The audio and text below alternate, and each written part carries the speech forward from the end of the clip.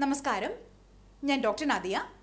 ഇന്ന് സംസാരിക്കാൻ പോകുന്ന ടോപ്പിക് വ്യക്തിഗത ശുചിത്വം അല്ലെങ്കിൽ പേഴ്സണൽ ഹൈജീൻ എന്ന് പറയുന്ന ടോപ്പിക്കിനെ കുറിച്ചാണ്.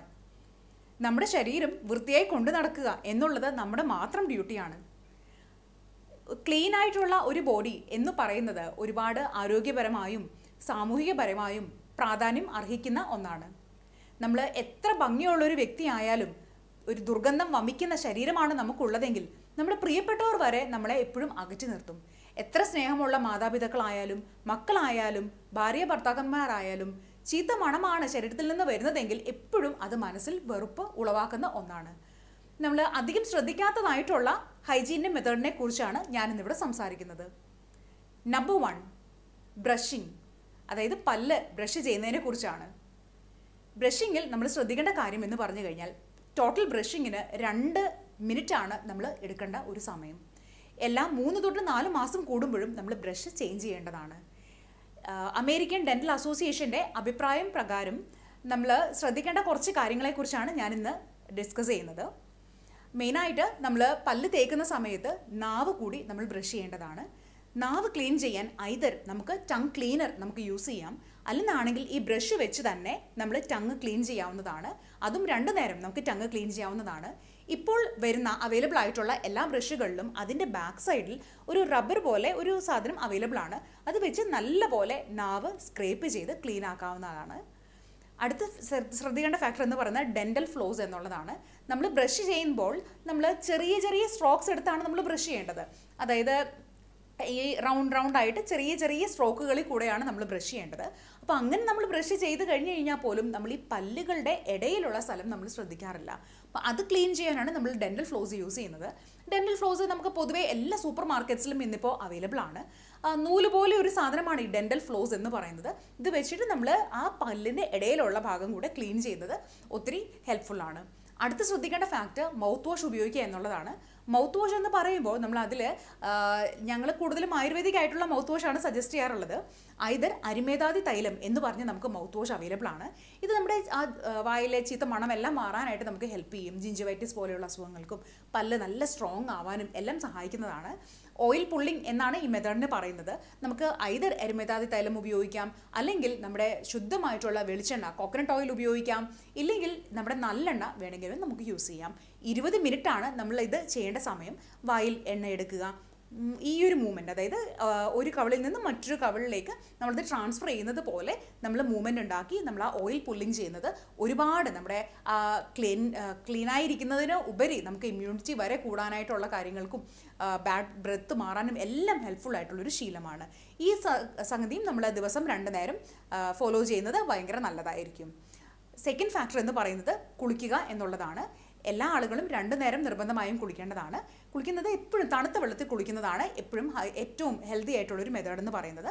പിന്നെ ജിമ്മിലോ അല്ലെങ്കിൽ നമ്മളിപ്പോൾ വർക്കൗട്ട്സിനോ വേറെ സുംബായോ എന്ത് ടൈപ്പ് ഓഫ് ആക്ടിവിറ്റിക്ക് പോയി വന്നിട്ടും ആളുകൾ കുറേ നേരം നമ്മൾ ബെഡിൽ റെസ്റ്റ് എടുക്കുന്നത് കാണാറുണ്ട്.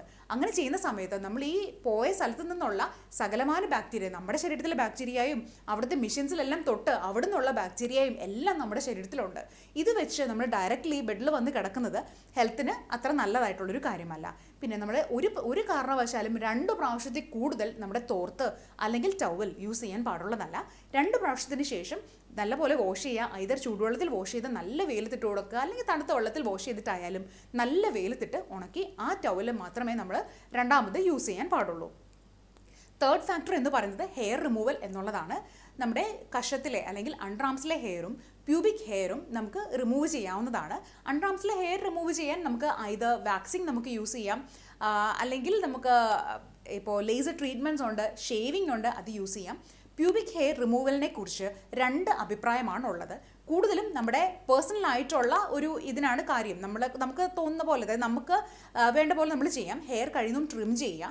മെഡിക്കൽ പരമായി സംസാരിച്ച് കഴിഞ്ഞാൽ അതിന് വേറൊരു ഒരു ഒപ്പീനിയൻ കാണാറുണ്ട്. നമുക്ക് ബാഡ് ആയിട്ടുള്ള ബാക്ടീരിയയെ പ്രിവെന്റ് ചെയ്യാനായിട്ട് ഹെയർ ഹെൽപ്പ് ചെയ്യും എന്നാണ് റിസർച്ചുകൾ പറയുന്നത്. അത് കാരണം നമുക്ക് താല്പര്യമുള്ള പോലെ നമുക്ക് ചെയ്യാവുന്നതാണ്. ഹെയർ ട്രിം ചെയ്ത് വിടുന്നത് നല്ലതാണ്. അപ്പോൾ ഈ കാര്യങ്ങൾ നമ്മൾ ഹെയർ റിമൂവലിന് ശ്രദ്ധിക്കുക. അടുത്ത ഫാക്ടർ എന്ന് പറയുന്നത് നമ്മുടെ ഫീറ്റിന്റെ കെയർ ആണ് അതായത് കാൽ പത്തിയുടെ കെയറിനെ കുറിച്ചാണ്. കാൽപാദം എല്ലാ ആളുകളും കുളിക്കുന്ന സമയത്തെല്ലാം നമ്മൾ നെയിൽ ഫയൽ കാര്യങ്ങളെല്ലാം ഇട്ട് നമ്മൾ ക്ലീൻ ആക്കുന്നുണ്ടാവാം അല്ലെങ്കിൽ പ്യൂമിക് സ്റ്റോൺ ഉപയോഗിച്ച് ക്ലീൻ ആക്കുന്നുണ്ടാവാം. പക്ഷേ എത്ര ആളുകൾ വിരലുകൾ ശ്രദ്ധിക്കുന്നുണ്ട്? ഇപ്പോൾ നമ്മുടെ കാലിന്റെ വിരൽ നോക്കിക്കഴിഞ്ഞാൽ ഒരുപാട് അടിങ്ങിയാണ് നമ്മുടെ കാൽ വിരലുകൾ ഇരിക്കുന്നത് അല്ലേ? കൈയുടെ വിരൽ പോലെ അല്ല കാൽ വിരൽ ഒത്തിരി അടിങ്ങിയിട്ടാണ് ഇരിക്കുന്നത്. അപ്പോൾ നമ്മൾ കുളിക്കുന്ന സമയത്ത് ഈ കാൽ വിരലുകളുടെ ഉള്ളിലും സോപ്പ് കാര്യങ്ങളെല്ലാം തേച്ച് നല്ല ക്ലീൻ ആക്കുക. അതുപോലെ തന്നെ നമ്മൾ ശരീരം തോർത്തുന്ന സമയത്ത് ഈ കാൽ വിരലുകളുടെ ടോസിന്റെ ഇടയിൽ നമ്മൾ ആ തോർത്ത് ഉപയോഗിച്ച് നല്ല പോലെ ക്ലീൻ ചെയ്ത് ആണ് ഇരിക്കേണ്ടത് കേട്ടോ. അടുത്ത ഫാക്ടർ എന്ന് പറയുന്നത് നമ്മുടെ ഐഡ കെയർ കണ്ണ് കണ്ണ് എങ്ങനെ ക്ലീൻ ആക്കാം? അല്ലെങ്കിൽ കണ്ണ് എങ്ങനെ നമ്മൾ ഹെൽത്തിയായി വെക്കാം എന്നുള്ളതിനെ കുറിച്ചാണ്. നമുക്ക് ഇളനീർ കുഴമ്പ് എന്ന് പറഞ്ഞ ആയുർവേദത്തിന്റെ ഷോപ്സിലെല്ലാം അവൈലബിൾ ആണ്.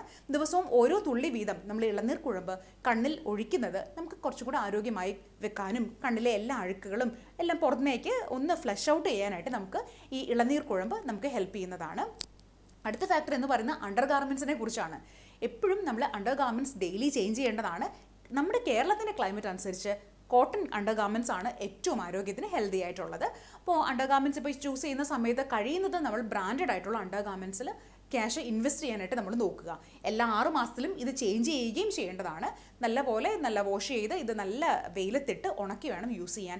ഒരുപാട് ആളുകൾക്ക് ഫംഗൽ ഇൻഫെക്ഷൻ കാര്യങ്ങളൊക്കെ ഉണ്ട്. അപ്പോൾ ഇങ്ങനെ വൺസ് ഈ ഫംഗൽ ഇൻഫെക്ഷൻ നമുക്ക് വന്നു കഴിഞ്ഞാൽ ഇത് മാറിപ്പോകാൻ ഒത്തിരി ബുദ്ധിമുട്ടാണ്.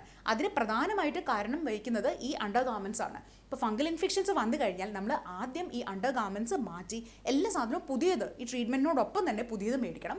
കാര്യം ഇതിന്റെ ഇലാസ്റ്റിക്കിന്റെ ഇടയിലെല്ലാം കുടുങ്ങിപ്പോയ ഫംഗസിനെ നമുക്ക് പുറത്തെടുക്കാനോ അല്ലെങ്കിൽ നമുക്ക് അതിനെ കൊന്നിട്ട് നമുക്ക് ആ അസുഖത്തിൽ നിന്ന് പുറത്തു മാറാനായിട്ട് ഇത്തിരി ബുദ്ധിമുട്ടാണ്. അത് കാരണം നമ്മൾ പുതിയ അണ്ടർ ഗാർമെന്റ്സ് അങ്ങനെയുള്ള അവസരങ്ങളിൽ നമ്മൾ യൂസ് ചെയ്യുന്നതാണ് ഏറ്റവും ഹെൽത്തി ആയിട്ടുള്ളത്.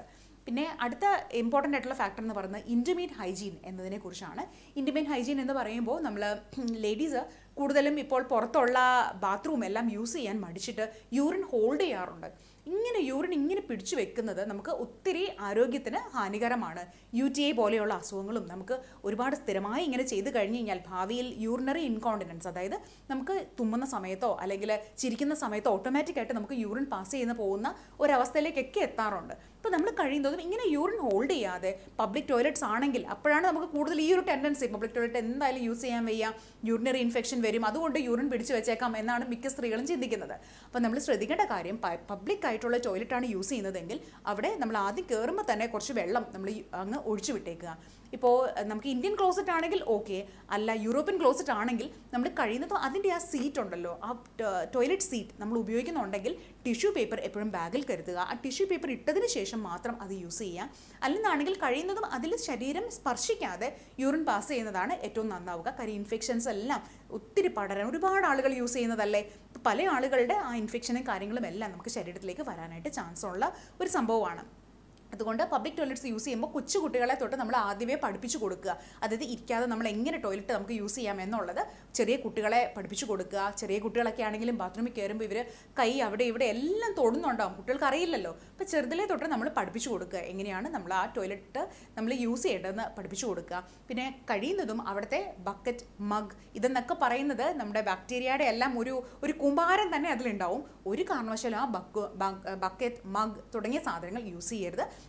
കയ്യിൽ നമ്മൾ വെള്ളം എടുത്ത് നമുക്ക് വാഷ് ചെയ്യാവുന്നതാണ്. ഓരോ പ്രാവശ്യം യൂറിൻ പാസ് ചെയ്ത് കഴിഞ്ഞ് നമ്മൾ എപ്പോഴും വാഷ് ചെയ്ത് ഹൈജീനിക് ആയിട്ട് ക്ലീൻ ആക്കി ഡ്രൈ ആക്കി വെക്കേണ്ടത് ആവശ്യമാണ്. ടിഷ്യൂ പേപ്പർ എപ്പോഴും കരുതുക.